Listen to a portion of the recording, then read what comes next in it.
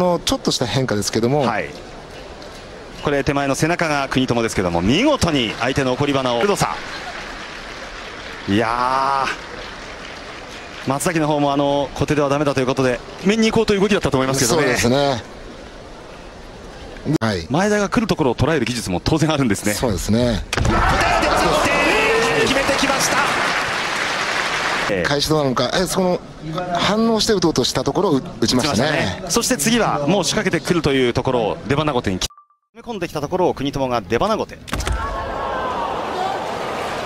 非常に冷静に試合を進めているようなちょっと遅れ気味に目にきましたね。今度は国友今度画面の右です。相手が出てきたところやはり西村に焦りがあったのか。そうですね。小手に国友が捉えました。まだ時間